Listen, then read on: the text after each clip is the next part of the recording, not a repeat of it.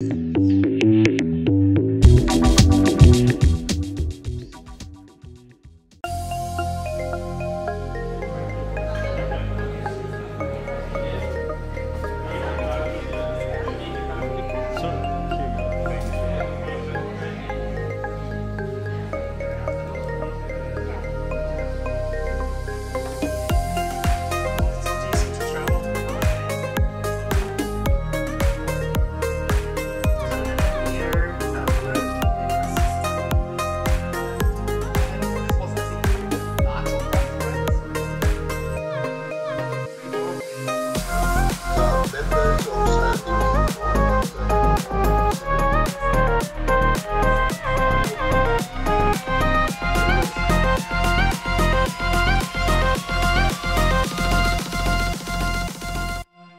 absolutely need to come to these events, not only because you're showing the work you've done, but also you're really learning firsthand, and there's nothing that can replace the person to person interactions. And that's not necessarily just at a talk, that's actually at the coffee, uh, that's at the symposium dinner, that's afterwards going up to uh, do a tour. All of these things are really important to build relationships and to promote collaboration. This type of symposiums brings uh, different ideas and people from um, different countries and we know that different countries have different resources and therefore uh, it is good to hear what other countries are doing in order to address this common problem which is uh, the plastics issue. These kind of events uh, promote the conversion from academic research to industrial uh, um, research and development as well. Last night there was a poster session and uh, we had some very interesting talks because people are doing similar research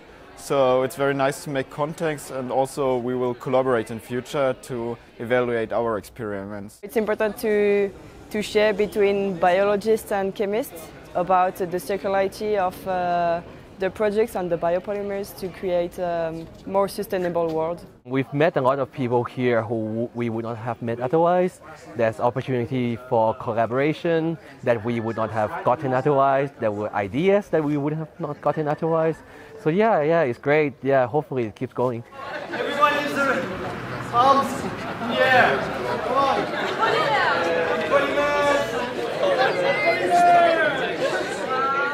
The scientific level, uh, this time I can see that there are many young uh, participants, uh, many students are presenting, uh, and also some very senior uh, researchers. Uh, so there, there are different levels of scientific qualities. some are good, some are beginners, but overall it is very good, especially the new ideas. I think it's a good blend of very high concept um, ideas and versus very detailed investigation. So we get very nice um, blend of um, different approaches. Um, so if you want to go into detail, there's people who like going into detail, and if you want a more holistic and like well-rounded approach, we get that sort of um, people presenting as well. A characteristic of this symposium is that we have expertise in many different fields, engineering, synthetic biology, material science. So I think that we have the top science in all these fields and then we can synergistically work together and have a really nice things together. I think it's a very high level and it's uh, very good that all are working on PHA so you can really understand the talks and also uh, get some information of something that's related to your research but from a different group. I can say it's absolutely excellent. I mean ISBP has, is really the top level. Yeah, so I, it's something that anybody in this area in biopolymers aspires to attend and to present at. I mean, it's really top, top quality.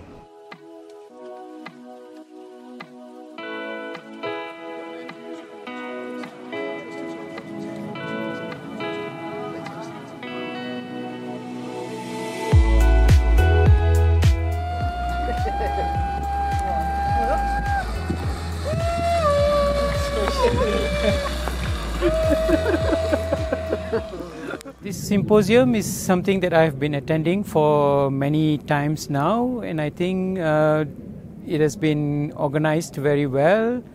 And the participants are from all over the world, and I think it is a very nice, successful symposium. It is um, nice, it's international. You, it's a very good opportunity to actually see what's done around the world, you know, because normally we're limited regionally, but now because you get researchers from Europe, Asia, the Americas to get everything. We have the time to discuss uh, personally, face to face, about many projects, collaboration, the things, the trending, and I think that they are really key.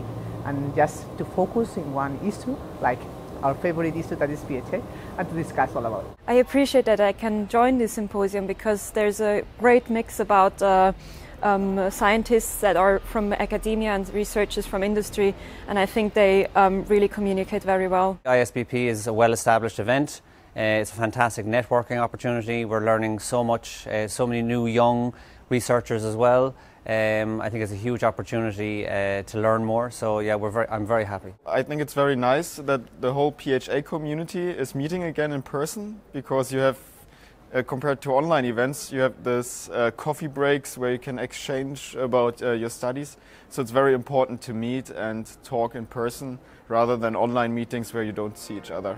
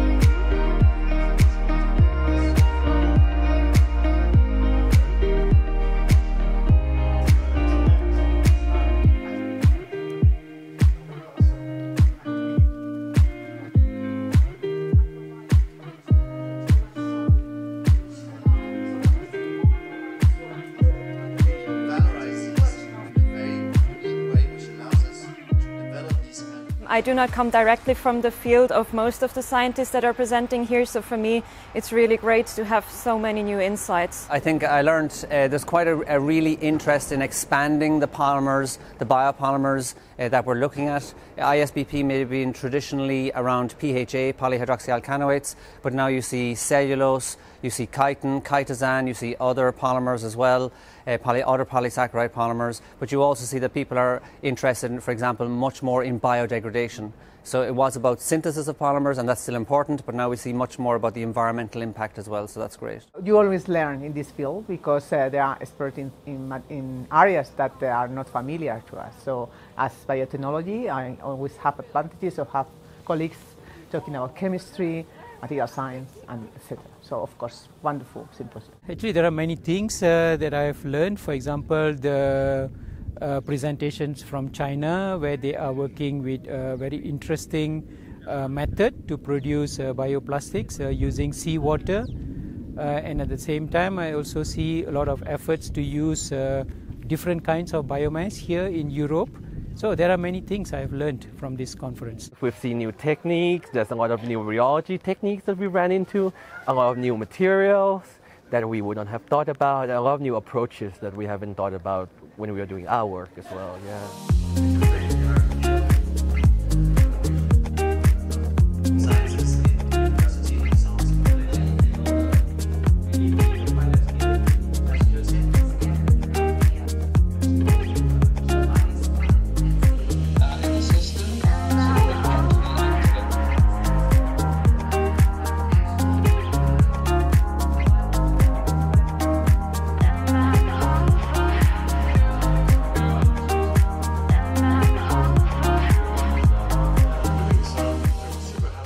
Think I learned a lot, and there's a lot of uh, to take home. And I think it's also some groups that you maybe didn't know before you will read the papers now. You see that people are doing things that influence your research directly. Yeah, it's not even indirectly. It's really some of the experiments that doing are doing will really help us to design our own experiments. Depending on what kind of problems come to me that I have to solve, I think this is a great source of inspiration to find problems uh, solutions. I think some of the techniques uh, that are used uh, for making bioplastics, uh, of course, they are different in different countries, uh, but some of the processes are similar, especially the downstream purification of the polymer from the bacterial cells. I think there are many things that I've learned uh, from this conference. Um, to be fair, we've already gotten some good ideas that we'll probably start doing right away after we go back.